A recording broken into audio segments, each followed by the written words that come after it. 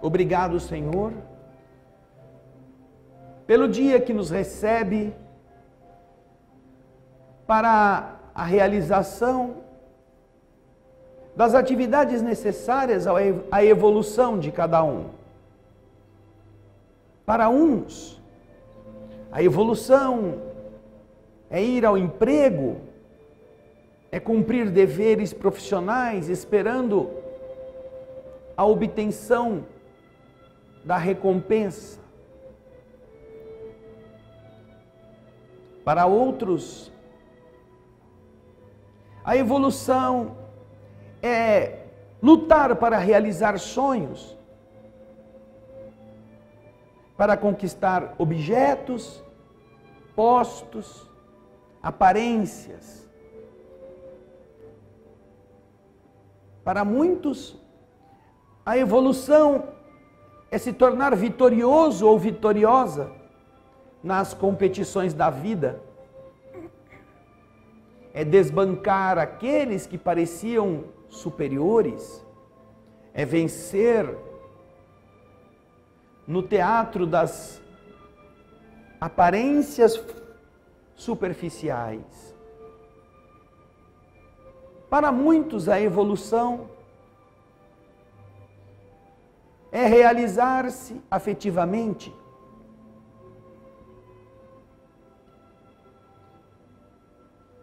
E todas as vezes que pensamos assim, nós apenas lutamos achando que aí está o ponto principal da vida.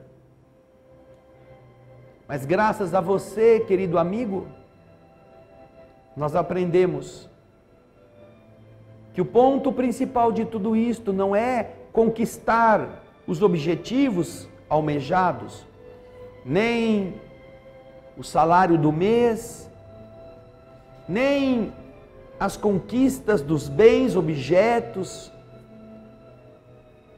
nem a companhia generosa de alguém que nos preencha o coração, nada disto é o objetivo celeste. A evolução se mede não por estas conquistas, mas como nós chegamos até elas. É a maneira pela qual nós subimos que atestará a qualidade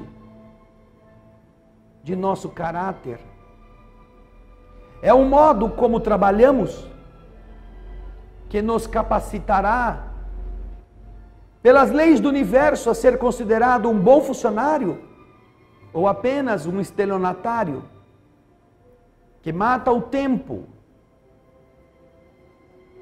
esperando ter o salário, que ganha sem nada fazer e é como um ladrão que sem esforço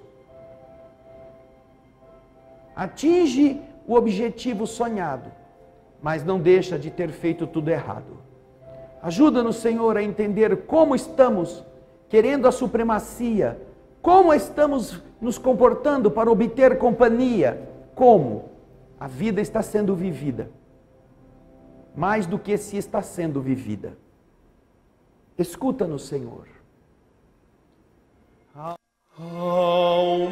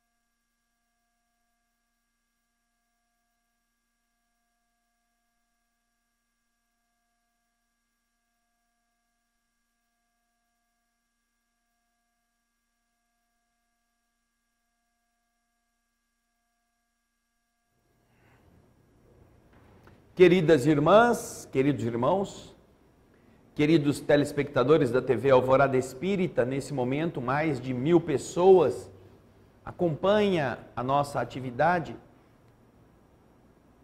que, como acontece nas nossas tardes de segunda-feira, trata da questão não daquela saúde que procuramos em consultórios, em balcões de farmácias, em hospitais, mas de uma saúde que nos afastará destes ambientes.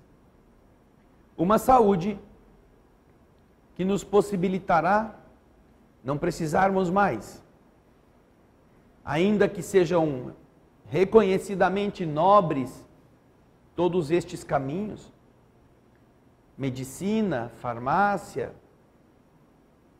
e o recurso do hospital, quando descobrirmos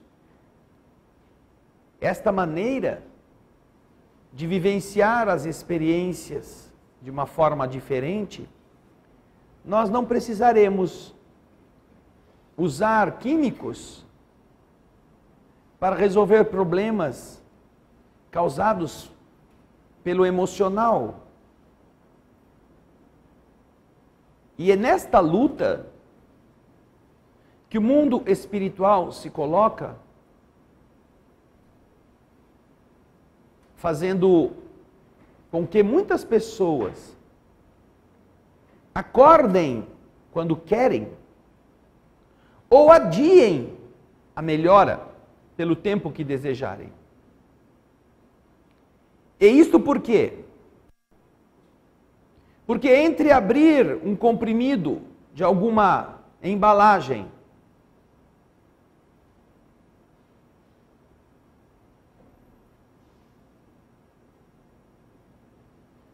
e ir pedir desculpa para uma pessoa que você ofendeu, é muito mais fácil ir à farmácia comprar o remédio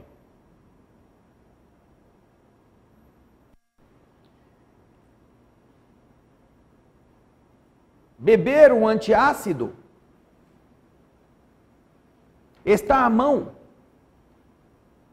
Enquanto que controlar a sua revolta exige disciplina.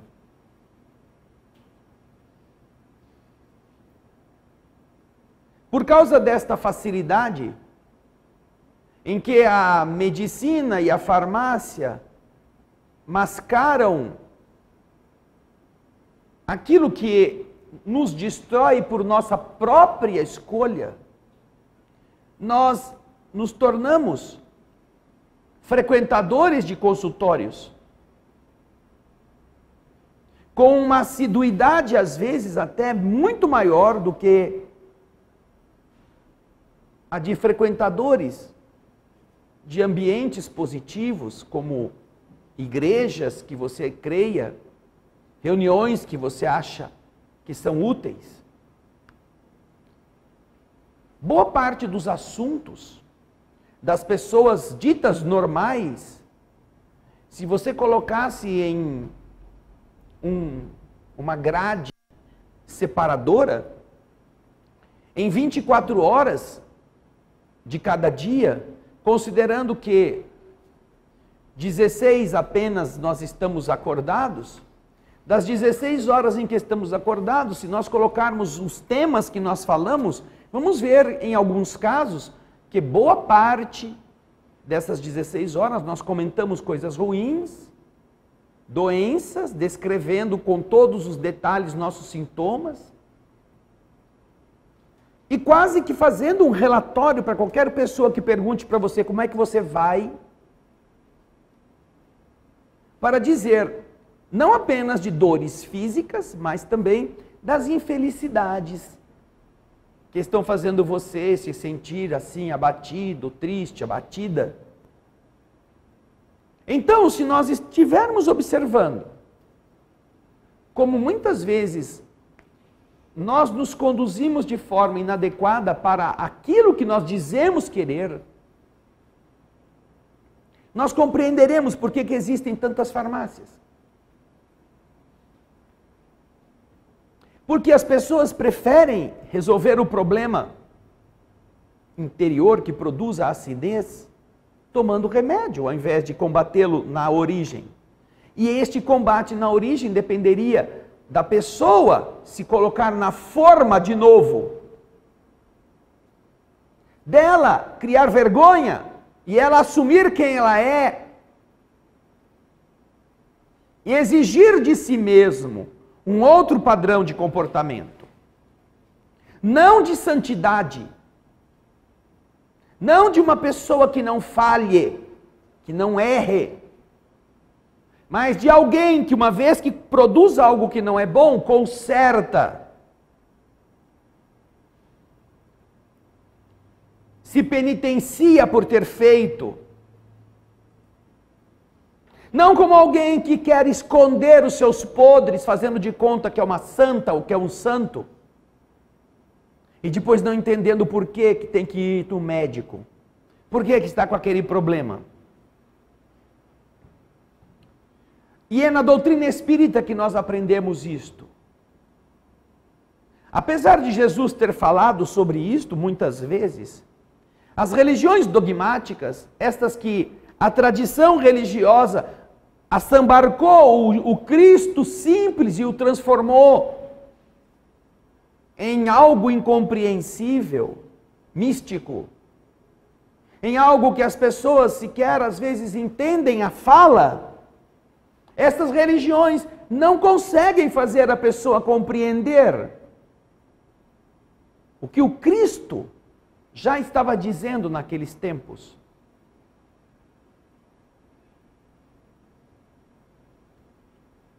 E então, por não ser algo ligada a, a, ou uma, uma maneira de crer ligada à forma de você pensar, à forma de você entender, porque não te explica o resultado ligado à causa. As pessoas frequentam estes outros lugares com aquela vã expectativa de que, se ela ficar lá por tantos minutos durante quantos dias da semana, Deus vai ajudá-la. que se ela se levantar e repetir aquilo que ela fala, que está escrito num pedaço de papel, que ela não sabe nem porquê, aquilo vai resolver o seu problema. Que se ela carregar uma Bíblia debaixo do braço e decorar versículos e capítulos, ah, isso é a salvação. Se ela usar uma fitinha amarrada no pulso com, sei lá, uma promessa ou algum tipo de patuá, ela acha que ela está protegida. E que não precisa fazer mais nada. Só que há o problema da vida. Há o problema da, do fato em si. E então essas pessoas procuram um consolo em uma religião que não as ajuda, mesmo quando lhes tome o dinheiro que tenham. Que não as ilumina porque não explicam as coisas, apenas fazem com que as pessoas repitam e repitam e repitam e repitam. Porque nunca querem libertar as pessoas dessa dependência.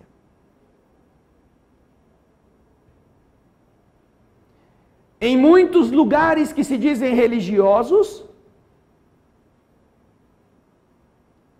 aqueles que estão tomando conta, o que mais desejam é que as pessoas que vão lá estejam com problemas, para que nunca fique vazio o lugar. Para que nunca a, a, na, naquele ambiente a, a plateia não esteja tão lotada. Porque, é claro, já era assim no tempo do Cristo. A maior parte de quem vai a esses ambientes não vai porque quer melhorar a si mesmo, vai porque quer sarar de algum problema, quer resolver alguma questão. E uma vez que se sara ou que se resolve, ah, eu não preciso mais voltar lá. É assim que funciona. Eu já estou bom. É então que surge este conflito entre aqueles que estão tentando fazer as pessoas ficarem melhores e ao mesmo tempo que não querem ficar sem plateia. E como é que você dá a impressão? Você dá a impressão de que você quer ajudar a pessoa, mas não quer que ela vá embora e nunca mais apareça ali. Você então cria rituais e diz para a pessoa: você tem que cumprir esses rituais. A sua vida não está boa porque você se afastou. Você precisa voltar aqui na igreja, você precisa voltar a ser um crente operante. E quando você fizer isso, sua vida melhora.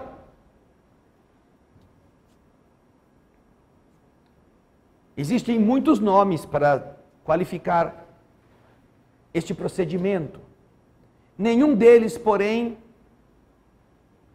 é digno de aqui ser pronunciado. Mas qualquer pessoa, qualquer pessoa, que tendo duas pernas, dois braços, um tronco e um pescoço sobre o qual está uma cabeça, por si só tem condições de avaliar se isso é algo bom ou não é. Mas a, a maior parte não quer fazer essa avaliação. Não quer. Uma vez que você faça uma avaliação que diga assim: para você ter saúde, você precisa mudar o que você é. Esta pessoa prefere a frase que diz: para ter saúde, basta vir aqui. Para ter saúde, basta estar no ritual, basta entregar não sei quanto todo mês. Aí você vai ter saúde. Essa é a frase que as pessoas querem ouvir. Para depois que não conseguem porem a culpa naqueles que falaram para ela agir desse jeito. Quando qualquer mínima inteligência que esteja funcionando, por si só, seria capaz de avaliar que não é possível que a saúde ou a doença dependam de você agir materialmente em rituais ou em comportamentos assim chamados litúrgicos.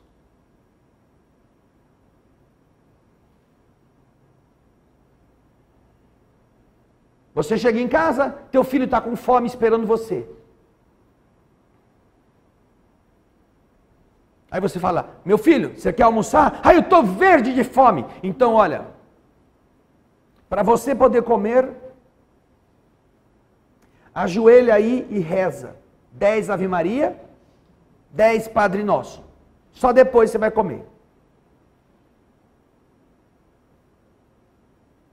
Mas mãe, eu estou com fome. Não importa, reza. Ou então vamos fazer diferente. Eu falo uma frase da reza e você fala que vem depois. E não pode errar. E a gente vai fazer a reza inteira assim. Eu falo uma, você fala outra. Eu falo uma, você fala outra. Eu falo uma, você fala outra. Mãe, mas eu estou com fome. Ou eu estou com febre. Eu estou com dor. Mas só depois que fizer isso.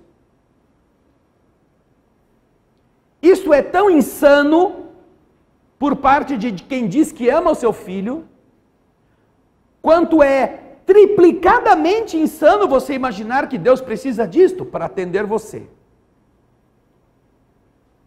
Mas muita gente crê que é assim. Crê por conveniência, por ingenuidade, ou por não saber o que fazer com o que tem dentro da cabeça. Se é que tem alguma coisa.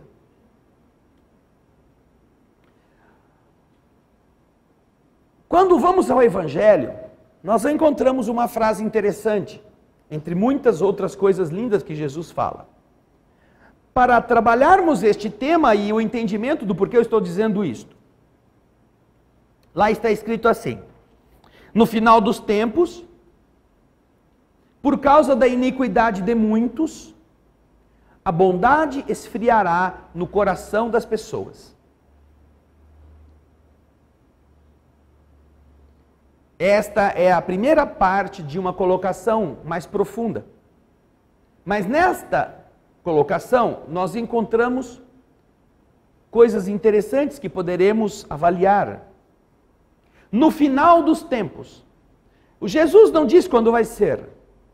Mas quando perguntam a ele quando será o final dos tempos, ele, ele usa uma, uma expressão interessante.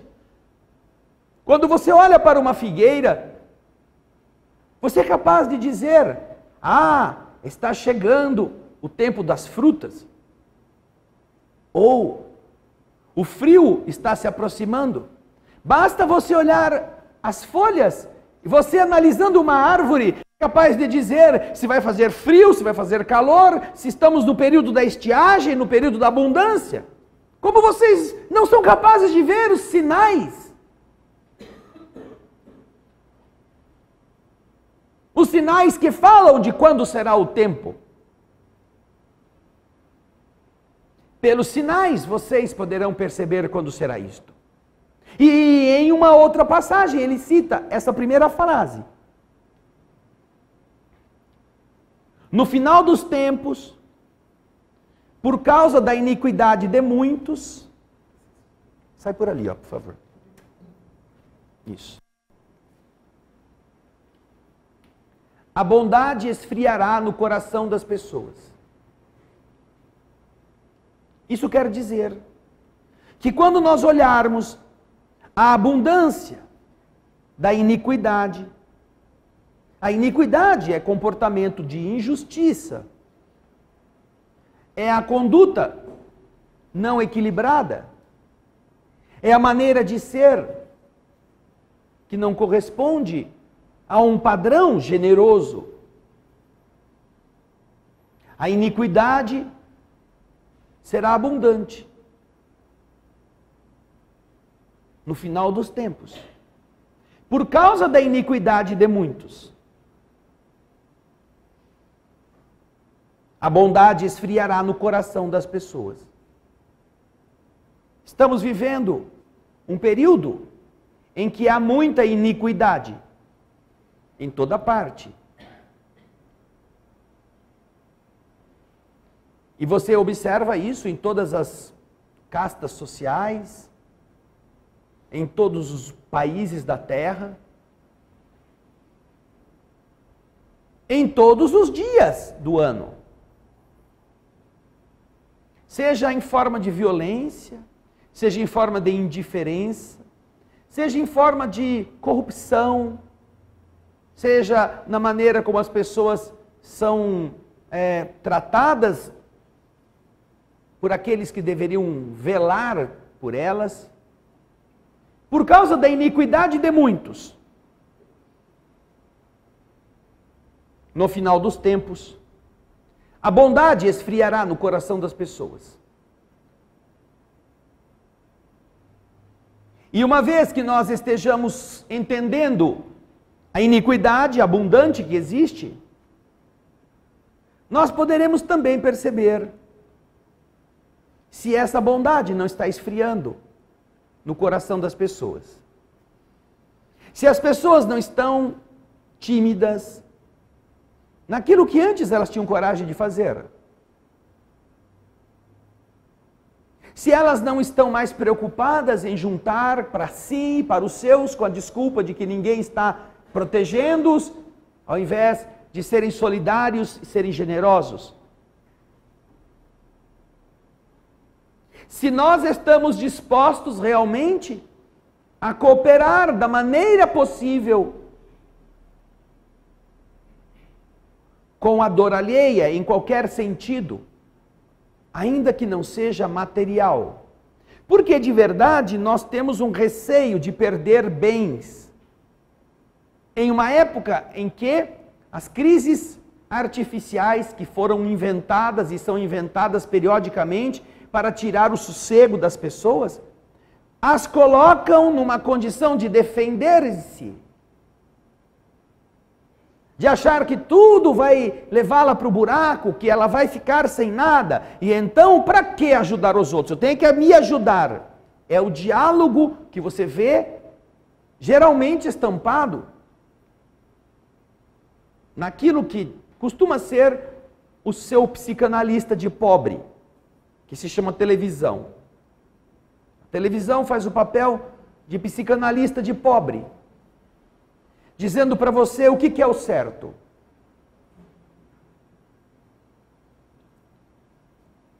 E aquele que não tem o dinheiro para pagar, para ir para um psicanalista ou para um psicólogo, às vezes fica medindo a sua conduta pelos padrões que a televisão apresenta, sem ter qualquer base de comparação. Estes que estão manipulando as massas através deste caminho, Não fazem outra coisa a não ser dizer a você que você tem que tomar conta de si, que todo mundo vai querer prejudicar você, que vão acabar com a sua vida, que você é um injustiçado, que você é uma pessoa que tem que reclamar sempre.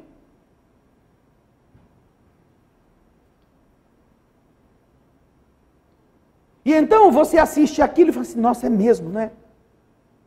Para que, que eu vou ajudar? Para que, que todo mundo está. Meu vizinho, meu, meus amigos estão todos interessados em eles se darem bem, eu também vou me dar bem. Há alguns anos atrás, e alguém vai procurar para mim nos programas, nas palestras antigas que nós fizemos, uma palestra que se chama 110 ou 220, qual a voltagem que você está funcionando? Uma coisa assim. Fizemos aqui mais ou menos, eu acho que é uns oito anos, essa palestra. Qual é a, vo a voltagem? Como o motor. Porque você sabe que se você tem um motor 110 e de repente alguém foi no lugar onde esse motor estava ligado e mudou toda a rede para 220, a hora que você liga o motor, ele queima. Porque a rede agora tem outra dinâmica que aquele motor não está preparado. Esta é uma imagem que é importante que a gente tenha reservada em nossa mente. Porque Jesus fala alguma coisa referente a isto. No fim dos tempos, por causa da iniquidade de muitos. Nós olhamos para a figueira e estamos vendo as folhas caindo, as folhas secando. O vento sopra e arranca facilmente aquelas que ainda estão penduradas. Isso indica, ah, estamos no outono.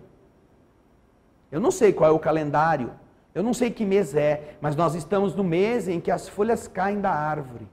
Que a árvore vai ficar pelada, sem nenhuma folha. E depois vem o frio. Jesus falou isto. Olhe à sua volta E você perceberá se estes sinais que nós estamos vivendo não são indicativos deste momento a que Jesus se referiu nessa frase. E olhe para você mesmo. Olhe para a maneira como, como você vive a sua generosidade.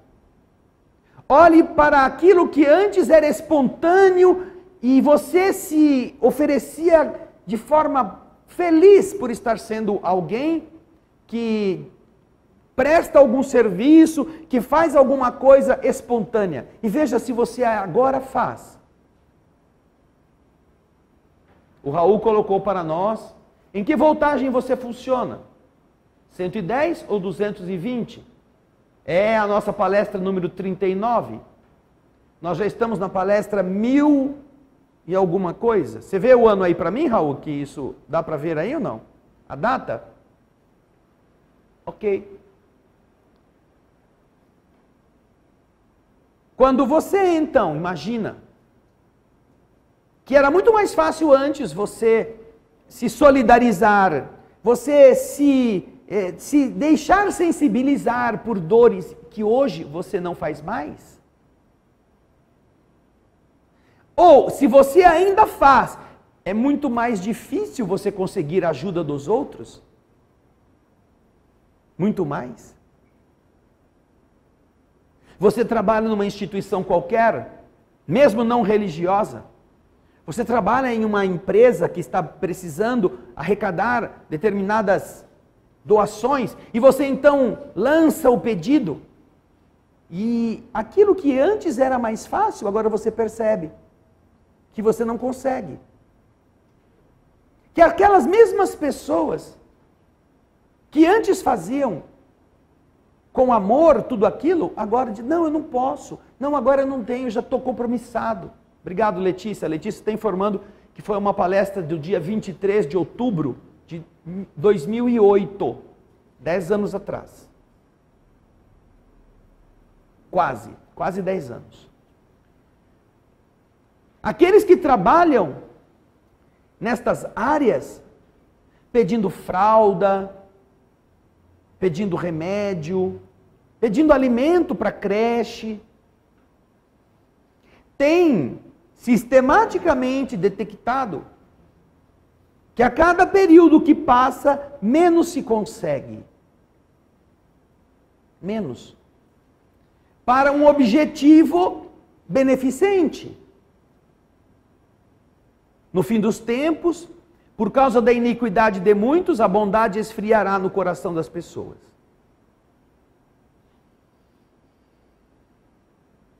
E quando nós percebermos que se nós um dia fomos bons, hoje nós somos meio bons, se um dia fomos meio bons, hoje somos um quarto de bons, se um dia nós nos sentimos felizes e, e amávamos a Deus com satisfação, agora a gente já fica dando 10 e pedindo 5 de troco na caridade que a gente quer fazer, imaginando que caridade é dar dinheiro, quando não é, nós percebemos que em muitas ocasiões nós somos estes nas, nos quais a bondade esfriou no coração. E nós usamos muitas desculpas para isto. Nós usamos a desculpa de que os nossos governantes nos roubam que aqueles que têm que dar exemplo não dão, que a sociedade está entregue à lei do mais forte. E quando nós usamos esse tipo de desculpa, na verdade nós apenas estamos justificando algo que nós sempre fomos: maus. Só que antes, quando nós tínhamos abundância, Era muito mais fácil, da abundância do que sobrava, pegar uma fatia e entregar, até para parecer que você é uma pessoa muito boa.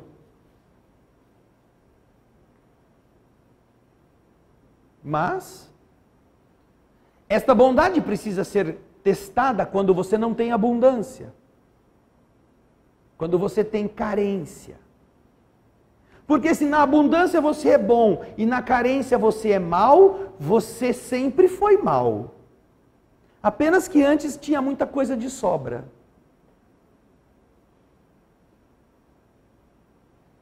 Por isso, se nós somos capazes de olhar para o mundo que estamos e ver o que Jesus disse, nós poderemos sim, sem medo de errar, termos uma noção de que nós estamos, se não na época, estamos muito perto deste período que Jesus chama de fim dos tempos. Quando, segundo ele também, será feita a separação do joio e do trigo, do bode e das ovelhas. Este processo de, de, de peneira, ele anuncia como será feito. Existe uma passagem, sim, no Evangelho, em que ele fala quem vai ficar à direita, quem vai ficar à esquerda. E ele cita cada passo daqueles que serão escolhidos e daqueles que não serão escolhidos. Resultando disso, algo que se você tem um pouco de inteligência, você poderá medir em você mesmo.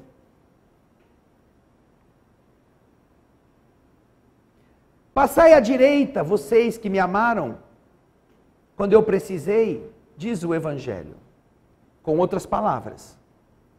Mas quando é, Senhor, que nós fizemos isso, o Senhor diz: Eu tive fome e você me deu de comer. Eu tive frio e você me agasalhou. Eu estive doente e você cuidou de mim ou foi me visitar. Eu estive preso e você foi me ver.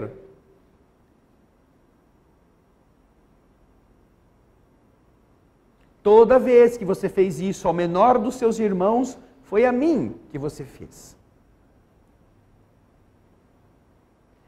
E isto não tem nada a ver com dinheiro. Ele não diz, eu tive fome e você comprou um sanduíche. Eu estava preso e você contratou um advogado. Eu estava doente e você pagou o tratamento para eu sarar. Eu estava com frio e você foi na loja, comprou um cobertor e me deu. Não! Jesus não coloca a salvação ou a escolha lastreada no que você tem no bolso, ou que você pode gastar com alguém. E sim no que você faz. Com aquilo que você dispõe da maneira generosa que o seu amor se compadece da fome alheia e divide o seu prato de comida.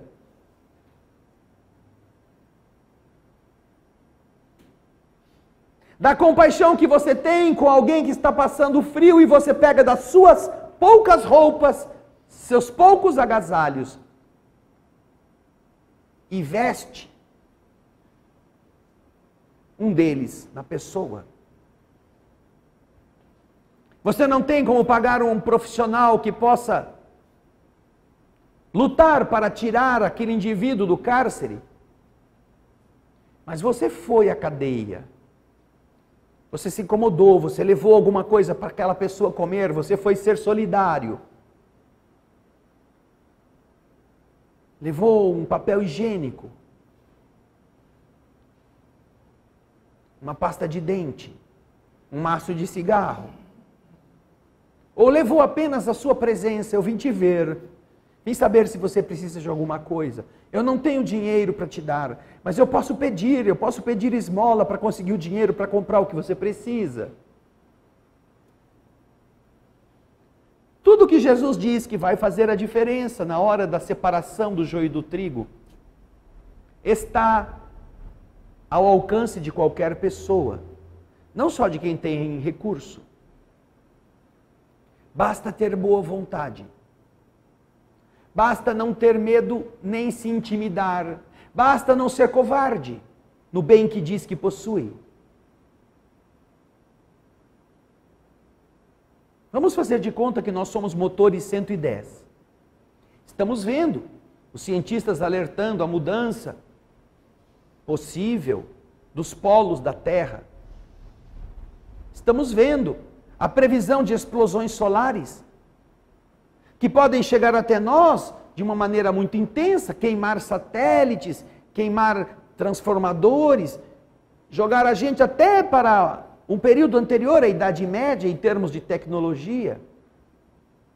Estamos vendo. E há muita coisa que o homem não conhece, que está à beira de nossa estrada cósmica. Mas nós somos motorzinho 110. Vamos imaginar que em um desses impactos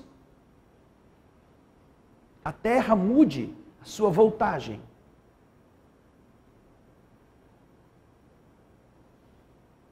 E só possam então ser ligados motores 220. O que vai acontecer com os motores 110? Eles vão torrar. Jesus fala a princípio simbolicamente, mas se você começar a analisar como são as coisas, você há de perceber que existe sim uma orientação profunda naquilo que ele recomenda. Porque ele fala: no fim dos tempos, por causa da iniquidade de muitos, a bondade esfriará no coração das pessoas. E se você observar, a televisão faz isso, faz um grande papel de peneira porque o que você vê nos noticiários é apenas o espalhar de mentiras para fomentar em cada um a insatisfação, a raiva, a indignação, que não vai mudar em nada o fato. Mas apenas você se envenena. Mesmo que seja mentira. Mas aí Jesus fala: porém, Todo aquele que perseverar, este será salvo.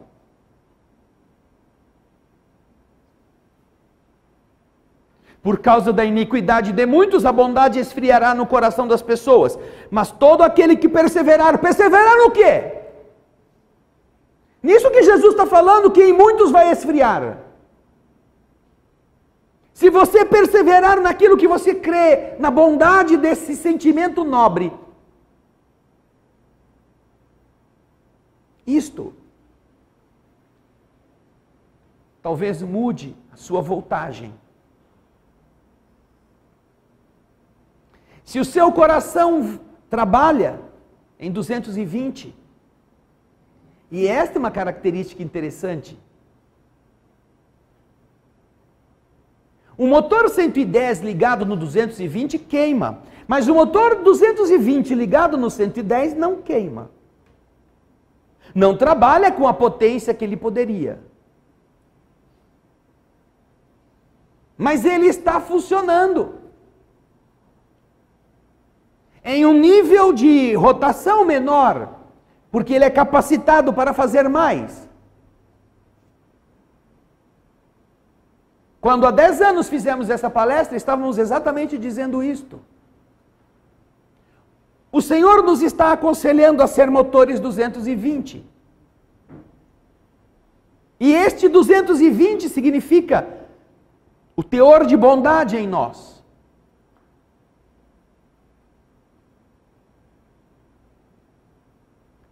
A intensidade com que nós queremos que as coisas sejam boas partir de nós a maneira pela qual nós convivemos com as outras pessoas, como nós ajudamos os infelizes, como nós perdoamos as ofensas. Tudo que Jesus ensina ao longo de sua trajetória é fazer a gente jogar fora o lixo emocional e assumir uma posição mais nobre como espírito. Trabalhar numa voltagem superior. Porque quando nós formos motores 220, Pouco importa que a terra mude a sua voltagem. Você já está pronto para isto. Por isso que ele fala: todo aquele que perseverar, este será salvo. Não é preciso ter medo. Só os maus têm que ter medo.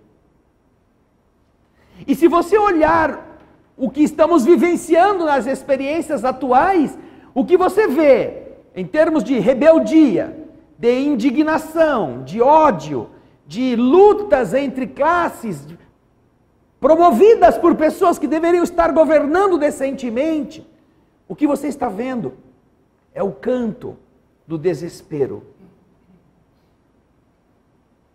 O que a Terra está vivendo hoje, não só no nosso país, mas como humanidade, é o grito de horror dos que não poderão permanecer mais aqui.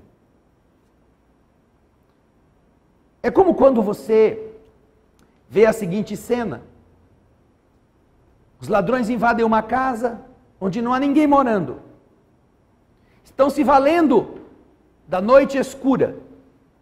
E estão ali dentro fazendo tudo o que podem, mas eles sabem que a hora que clarear, eles não poderão ficar lá, porque serão vistos. Pode ser que chegue alguém. Então eles não conseguiram roubar nada porque não encontraram nada de valor.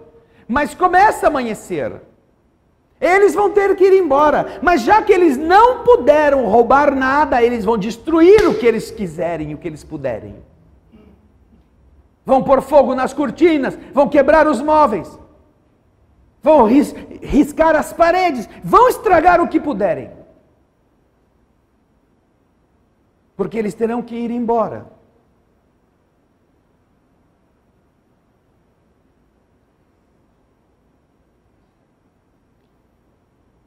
e ainda que seja passível de crítica, o nível de informação que a televisão nos fornece, a televisão nos está fazendo um grande favor. Não pensem que as coisas estão erradas. A televisão está ajudando as pessoas a demonstrarem quem elas são.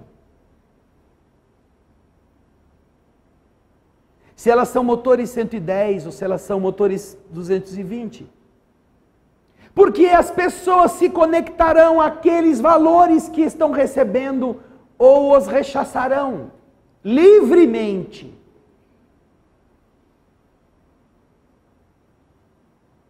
E quando você,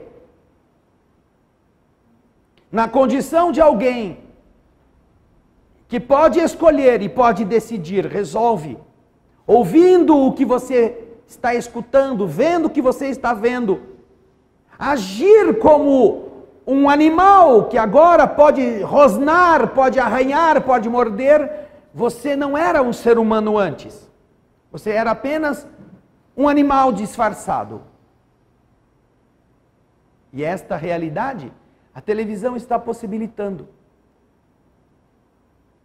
Para que não haja ninguém enganado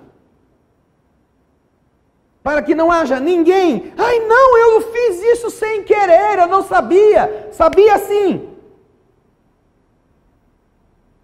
Você sabia o que estava fazendo. Quando desejou matar, quando desejou pedir a morte, quando desejou esbravejar, ou quando resolveu fazer de outro jeito. Você sabia que você tinha dinheiro guardado e estava pouco se lixando com a dor alheia. Você sabia que perdia comida na prateleira, vencida pelo tempo que você não comeu, enquanto dizia para as pessoas que batiam a sua porta que você não tinha nada naquele dia? Você sabia.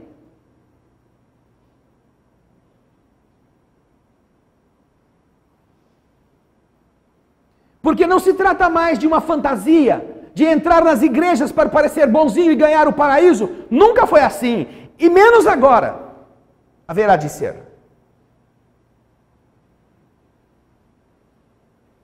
Esta é a hora da verdade.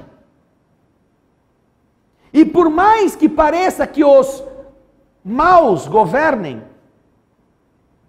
é preciso que seja assim, para que as pessoas decidam-se de que lado estão. Todos querem ficar do lado do vencedor. E para ficar do lado do vencedor, muitas vezes as pessoas abrem mão dos seus próprios valores. Nunca tiveram. Nunca foram conscientes do que acreditavam. Estão agora bandeando-se, por quê? Porque agora lá eu tenho mais vantagens. É assim que funciona. Quando você assiste a televisão e você gasta seu tempo sagrado dando espaço dentro de você para o lixo que você recebe e toma partido, você está assumindo que tipo de motor você é.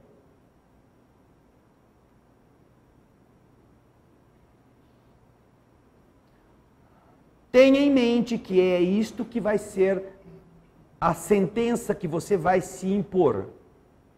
É você quem vai fazer isto, não é Deus. Apenas se constata. Se constata como? Ah, eu tive fome, você me deu de comer. Eu tive frio, você me vestiu. Eu estive doente, você foi me visitar. Eu estive preso, você foi me ver. Você fez. Você não diz, isso é problema do governo, isso é problema da prefeitura, eu já pago meus impostos, eu é, vou, eu vou pedir, vou pegar um pouco para mim, isso sim. Está todo mundo roubando, por que, que eu vou ser honesto? Esse é o da esquerda. Esse é o motorzinho que não poderá funcionar no mundo em que estamos. Neste mundo que o Senhor projeta para a melhoria da humanidade. Não há espaço para esse tipo de comportamento, porque se esses indivíduos permanecessem no mundo melhor, fariam uma favela de novo aqui.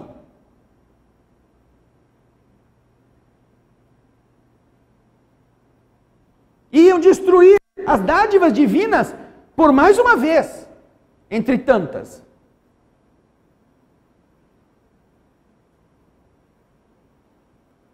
Quando entendemos, portanto, este mecanismo que o Senhor diz, no fim dos tempos, por causa da iniquidade de muitos, a bondade esfriará no coração das pessoas. Pense se você está desse lado, ou se você está na parte final do ensinamento. Porque você sabe disto. Você que está em casa sabe em que lado você está. Perseverar no bem, perseverar no valor, perseverar na virtude, perseverar na correção. E quando se fala aqui em virtude, não se está falando em sexo, que é o grande fator preocupante das pessoas. Se elas são íntegras sexualmente ou se não são. Em virtude, devem estar nossos pensamentos unidos ao lado do valor do caráter, da correção, da verdade, da honradez, da autenticidade, do respeito. Quanto isso é importante para você? Porque se isso não for mais importante, se isso for relativo, se era importante deixou de ser, isso nunca foi. Era, era usado enquanto você tinha conveniência, mas depois que as coisas pioraram, você bandeou e agora cada um por si.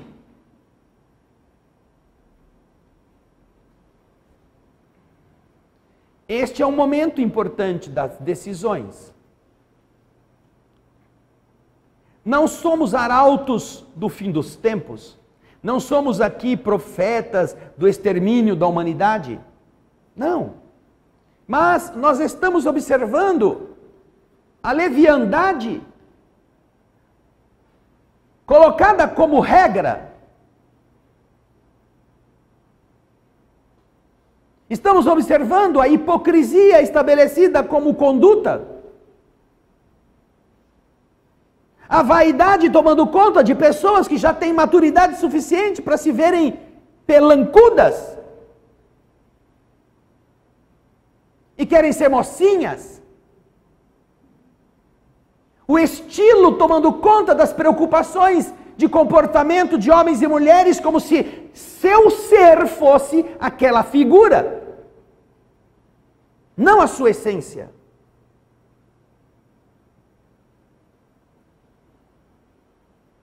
Quando isso é assim, estas pessoas certamente fizeram sua escolha.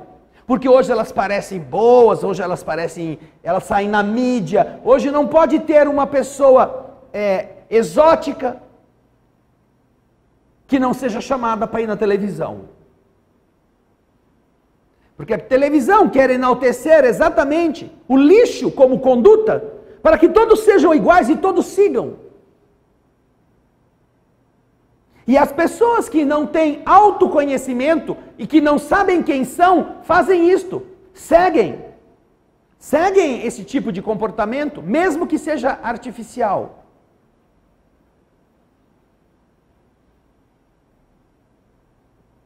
E aqueles que não concordam com isso, o que fazem? Desligam a televisão? Ou também assistem? Escrevem reclamando? Ou de vez em quando dão uma olhadinha?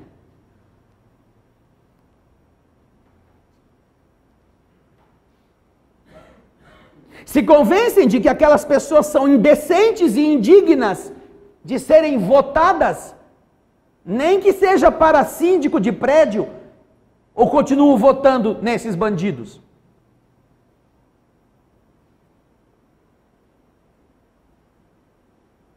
E não venham com a desculpa, ah, mas a gente não tem quem votar. Tem sim, candidato se você, se você for honesto.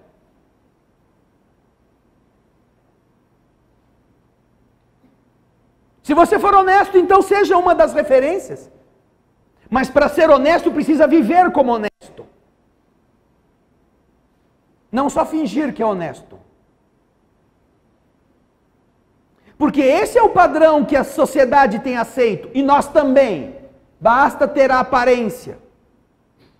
E a gente já confia, a gente já entrega, a gente já põe dentro de casa. é necessário que nós nos lembremos de que isso é um motor magnético negativo. É por isso que a televisão existe. Não deveria ser. Um dia será diferente quando outras mentalidades estiverem governando. Quando não quiserem mais ludibriar a sua boa fé para te vender produtos que você não precisa. Para exercitar uma pressão sobre a sua vaidade, sobre a sua mesquinhez, sobre a sua debilidade emocional e moral, fazendo você parecer bonito sem ser bonito. Um dia será assim, mas por enquanto não é. Por enquanto, isto é uma massa, uma forma de manipular as pessoas para que elas fiquem doentes, de uma forma ou de outra. E só a doutrina espírita pode explicar esse mecanismo. Não por causa do que Jesus falou somente, porque Jesus não pôde aprofundar isto, mas por aquilo que hoje se conhece e que os Espíritos explicam com facilidade. Por que, que estas pessoas são candidatas a ir embora do mundo? E eu disse que este cântico horroroso que estamos assistindo é o canto do defunto às portas de ser enterrado. Porque esta é a, é a regra do universo. Assim são as coisas. Esta é a reação do ladrão que está vendo a claridade chegar e vai ser despejado. Destrói o que pode e arrasta com eles quantos ele puder, para ele não ir sozinho. Alguns chamam isso de o abraço dos afogados. Quando você vê alguém se afogando e chega perto para tentar salvar, a pessoa agarra em você, os dois vão para o fundo. Mas, quando nós analisamos uma única, uma única mensagem deste livro, Pensamento e Vida, do Espírito Emmanuel, vocês vão ver aqui, depois vão ver na tela, através da, da psicografia de Chico Xavier, vocês vão entender esse mecanismo. É o capítulo 22, nós já lemos aqui outras vezes. O título é Culpa. Culpa. Emmanuel nos explica o seguinte: quando fugimos ao dever, precipitamos-nos, atiramos-nos no sentimento de culpa do qual se origina o remorso. com múltiplas manifestações e nos impõe brechas sombrias aos tecidos sutis da nossa alma. Nossa alma é feita de vibrações muito sutis, muito delicadas. E todas as vezes que a culpa se manifesta, através da culpa, o homem caminha na direção de uma auto punição, abrindo na sua defesa vibratória passagens negativas que o deixam vulnerável. Continua Emmanuel. E o arrependimento, incessantemente fortalecido pelos reflexos de nossa lembrança amarga, transforma-se em abscesso, transforma-se em inflamação. As pessoas às vezes têm aqueles furúnculos que vão crescendo, vai ficando uma pelota, até formar uma cabeça, por onde sai a podridão purulenta, que é o resultado do combate do seu organismo contra aquele agente infeccioso. Esse é um abscesso. Emmanuel compara o que, o que é gerado pelo ressentimento no interior das pessoas como um abscesso mental. Você tem um furúnculo na sua mente. Envenenando-nos pouco a pouco e expelindo em torno a corrente miasmática, suja, infecciosa de nossa vida íntima, intoxicando este hálito espiritual de quem nos desfruta o convívio. Nós começamos a contaminar a nossa volta, vibratoriamente, por força desta conduta mental que está enraizada num erro, do qual nasce a culpa, de onde vem o arrependimento, e a pessoa passa uma vida inteira com este furúnculo mental expelindo para ela mesma veneno e para os demais que a circundam.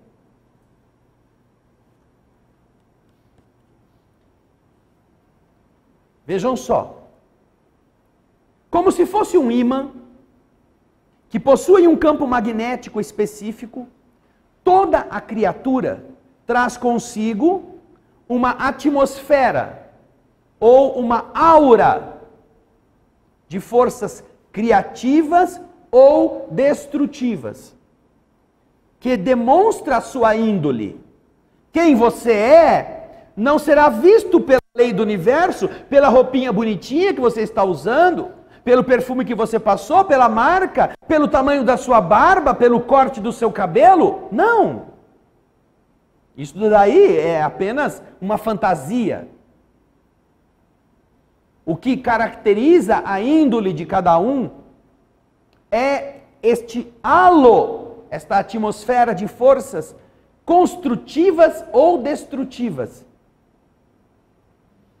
porque dali você projeta raios de força que são compatíveis com o que você é. Aí vocês veem as capas diversas deste livro. E é por esse halo, por essa atmosfera, preste atenção, que nós estabelecemos as nossas ligações de natureza invisível nos domínios da afinidade. Nós nos relacionamos por afinidade com espíritos que tenham o mesmo padrão dessa nossa emissão e com encarnados que também estejam do mesmo modo, no mesmo perfil vibratório que o nosso.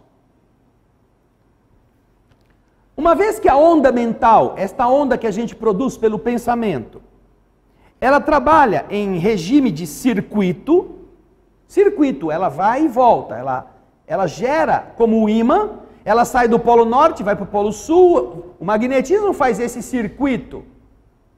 A nossa onda mental trabalha do mesmo jeito. Este nosso halo, ele também ele é algo móvel. Nós temos duas correntes energéticas que circundam o nosso corpo. Uma no sentido horário, outra no sentido anti-horário. Uma vez que a onda mental opera em regime de circuito, por ela, por esta onda mental, nós incorporamos, quando estamos moralmente desalentados, os princípios corrosivos que emanam de todas as inteligências, encarnadas e desencarnadas, que se entrosem conosco no âmbito das nossas atividades e influências. Não é só você. A sua energia se conecta com a do outro, com a da outra. E aquilo que o outro tem de bom, se você também é bom, se incorpora a você num regime de circuito que você troca e você recebe. Mas se a coisa não é boa, a sua negatividade será somada à negatividade das inteligências invisíveis ou visíveis que estejam com você.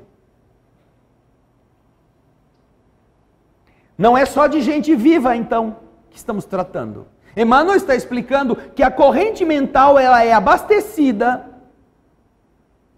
por vibrações de encarnados, mas também de desencarnados. Projetando, continua o texto, projetando as energias dilacerantes, destrutivas do nosso próprio desgosto, por causa da culpa que nós adquirimos, quase sempre somos subitamente visitados por alguma coisa interna, uma argumentação silenciosa interior que vai converter aquele, aquele pesar que nós guardamos, que nós mesmos alimentamos, em uma mágoa, em uma irritação contra os outros. Nós estamos vendo o que aconteceu com a moça lá no Rio de Janeiro. Um homicídio, um assassinato violento, que ninguém deve concordar com esse tipo de conduta. Mas você está aberto a esta mesma vibração. Então você assiste aquilo e ao invés de você elevar o pensamento, pedir a Deus que possa abençoar essa pessoa, que possa abençoar as pessoas que estão apurando, que se possa chegar ao, ao culpado, ao responsável, se você não está neste padrão, você vai usar aquilo para dizer: ninguém presta, tem que matar esse sem vergonha. Quem foi o fulano, a Beltrano, o Cicrano? Você acusa sem ter prova. E já está pronto quase a pegar uma faca e sair esfaqueando qualquer um que se encontrar pela frente. Você não encontrou o ladrão, você não encontrou o assassino, Ninguém disse para você quem ele era, você não tirou fotografia, você não filmou a cena do crime, você não era testemunha do que aconteceu. E depois que você assistiu, você ficou pior do que era. Suas sensações internas se tornaram mais amargas. E muitas pessoas, de estarem se abastecendo constantemente deste tipo de vibração, deixam a aparente passividade, pacificidade e saem por aí dispostos a quebrar ônibus, a pôr fogo em banca de jornal, a fazer alguma coisa contra este, este mundo que nos oprime. Sem que nunca essa pessoa tenha sido oprimida, pessoalmente. Nunca. Ela soma ao que ela estava aberta a vibração dela aos dos demais que estão vibrando por ela também, no sentido igual.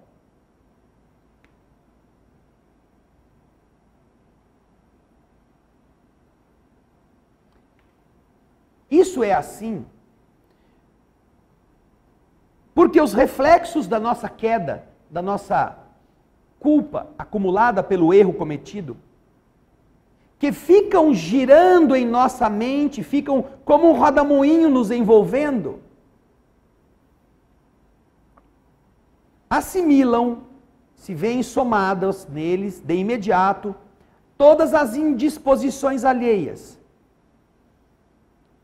trazendo para a acústica da nossa alma todas as mensagens não articuladas de revolta, de desânimo, de angústia e desespero que vagueiam na atmosfera psíquica em que nós respiramos, transformando-nos em autênticos rebelados sociais, famintos de isolamento ou de escândalo, nos quais possamos dar pasto à imaginação virulada por essas mórbidas sensações das nossas próprias culpas.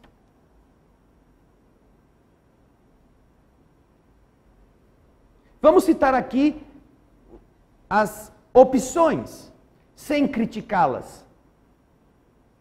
Alguém que está carregando um problema emocional nascido de uma inclinação não, não, é, não vista pela sociedade como normal, na área do sexo. Ela tem a inclinação, ela pode até fazer aquilo, mas sabe que isto é um peso. Porque a sociedade não concorda com aquele, com aquele padrão. Ela sofre isto. Ela gostaria de ser reconhecida como todas as pessoas são, de ter liberdade de fazer o que ela gostaria de fazer à luz do dia, ou o que ela faz escondido.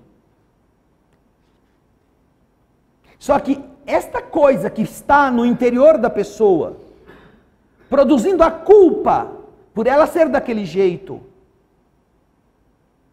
como diz aqui Emmanuel, esta culpa, que é um ponto frágil, começa a se abastecer das vibrações de outras pessoas e outras mentes que querem aquelas mesmas atitudes.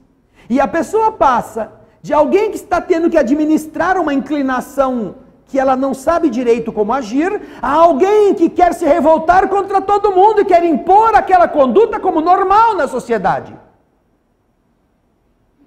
São todos os outros seus inimigos. E ela sai a defender todo aquele tipo de comportamento como se aquilo fosse o adequado. E que as pessoas que não pensam como ela são opressores. São pessoas que querem é, é, afundá-la, querem abafá-la, querem não tratá-la como uma pessoa. Então você vê que esta inclinação encontra eco e é abastecida, e a pessoa que antes estava tentando resolver-se passa a ter uma vontade de explodir, de rebelar-se. Se você assistir, por exemplo, a parada gay, não faça isso, não perca seu tempo. Mas quando você vê os comentários e as fotos que mostram, você vê eles colocando o, o Cristo crucificado como uma prostituta nua. Ou o Cristo, aquele que foi chicoteado como se estivesse sendo pisado por por homens travestidos de mulher, mulheres travestidas de homem. Homens musculosos, depravados, fantasiados de freiras. Uma reação agressiva contra a religiosidade que milenarmente considerou comportamentos sexuais dessa forma um pecado. É a culpa. Não estamos dizendo que essa colocação das igrejas é correta. Estamos apenas mostrando o mecanismo. A mesma coisa acontece com o viciado em maconha. O fumador de maconha faz campanha para a legalização da maconha como uma coisa medicinal. Uma coisa boa, e vai encontrar, porque ele sabe que o que ele está fazendo não é adequado para a sociedade. Vai encontrar mentes que querem a degeneração coletiva a dar-lhe apoio. E ao invés dele fumar a maconha dele escondido, sai por aí como um arauto da maconha para fazer esse movimento crescer, porque ele, ele quer beneficiar-se disto.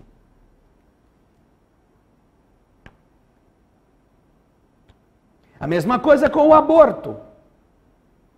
Nunca existiu na Terra tanta facilidade para você não gerar um filho. todos os tipos de produtos, de objetos de defesa para não gerar um filho. O que leva.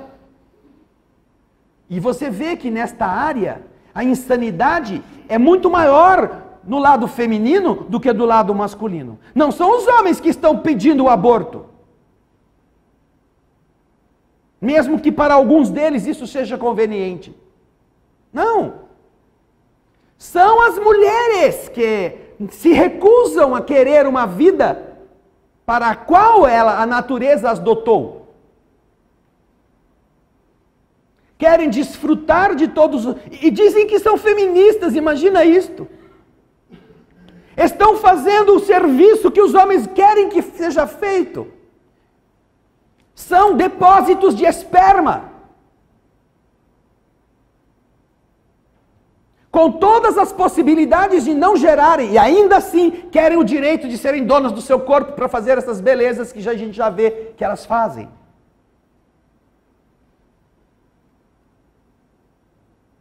Trabalham inclusive contra o que elas dizem que querem defender sua liberdade, confundindo liberdade com o que elas estão praticando. Como se esse fosse o direito de todas as mulheres e o interesse de todas elas. Mas a televisão dá espaço para isto, porque de verdade é um projeto destruidor que quer fazer com que as pessoas vejam que a mulher é vítima. Agora a campanha é do Estupro presumido, a mulher é, é, o feminicídio, a pobrezinha da mulher, que é vítima da violência do homem, em alguns casos é também. É vítima, não pode ser assim.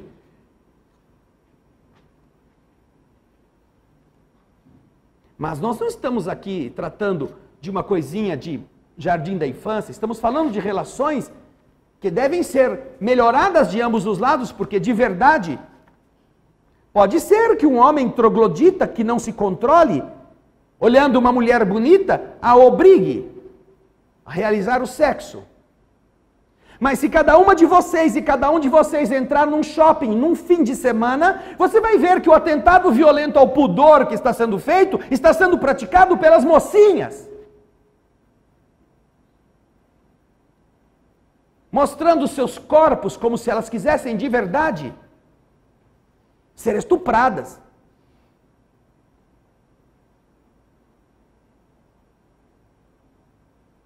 É como quando você vai ao zoológico e lá está escrito assim: Cuidado, leão bravo.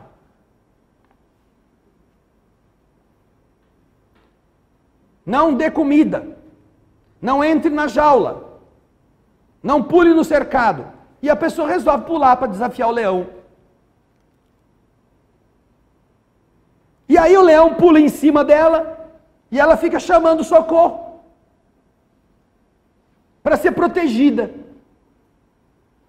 E quem fala isso não sou eu, não. Se chama Camille Paglia, uma feminista, que agora é odiada por esse tipo de mulher, que não quer responsabilidade, porque ela disse exatamente isto numa entrevista que deu aqui, no Brasil, na, na TV Cultura.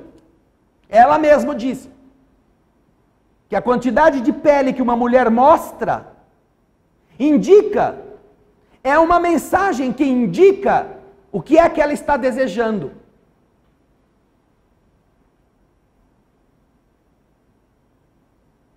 Ajuda aqui, Gaspar, a, a moça aqui, ó.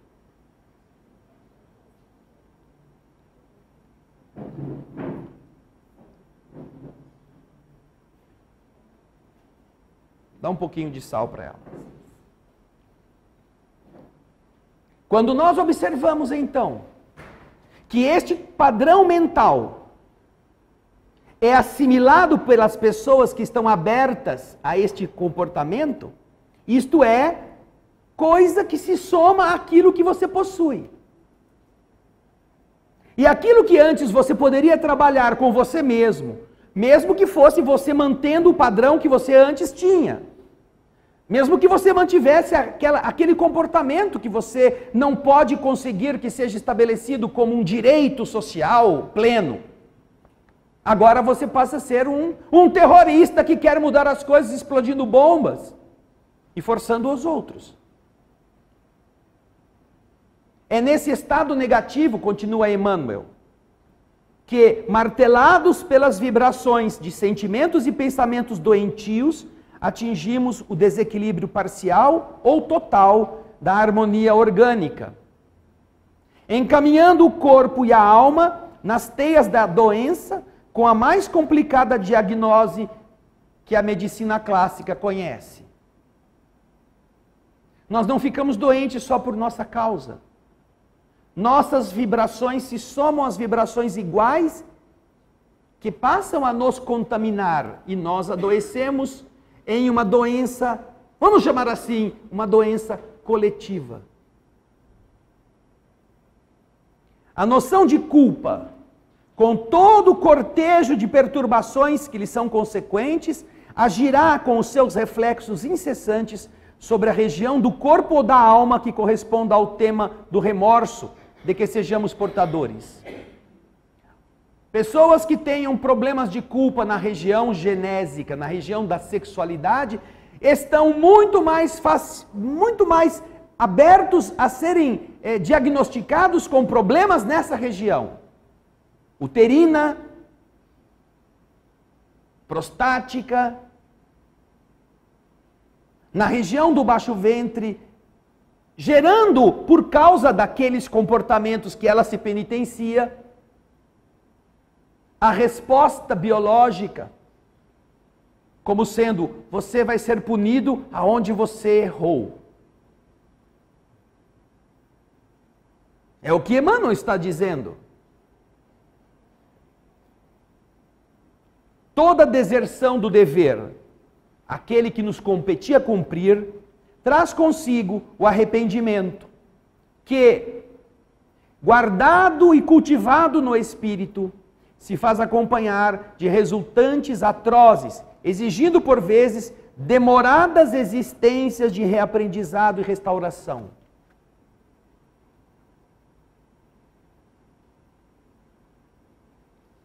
Cair em culpa por isso mesmo, exige humildade viva para o reajustamento tão imediato quanto possível de nosso equilíbrio vibratório.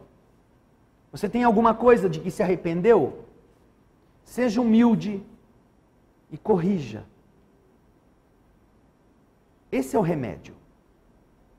Quando você refaz o que fez de errado, quando você melhora aquilo que antes você estragou, quando você pede desculpa, ou quando você se demonstra agora diligente para fazer o que você não, não fez, você coloca mertiolate no ferimento, antes que ele se transforme em um tumor. É por essa razão que Jesus, não apenas como mestre divino, mas também como sábio médico, nos aconselhou a reconciliação com os nossos adversários. Reconcilia-te com Ele enquanto estás a caminho. Ensinando-nos a encontrar a verdadeira felicidade sobre o alicerce do amor verdadeiro e do perdão sem limites. Não se restrinja apenas a permanecer na culpa. Porque se você só fizer isso, escreva. Você está se condenando a ser um doente. Esse vai ser o resultado. Se você não quer adoecer, ou se você quer melhorar da doença que já produziu, com humildade, repare o erro. Vença você mesmo, ao invés de deixar o tempo empurrar as coisas com a barriga. Falamos na prece que fizemos hoje. Quantas pessoas estão preocupadas em ser bem-sucedidas, em ter companhia, em ficarem ricas ou conseguir o salário do mês. O problema não é este. O problema é como você faz isto. Porque os espíritos consideram que a lei do universo trata aquele indivíduo que é o mau funcionário como um ladrão, não como um funcionário relapso. Aquele que ganhou o dinheiro sem ter trabalhado ou ter feito o que lhe era esperado, este está roubando, isso é um crime.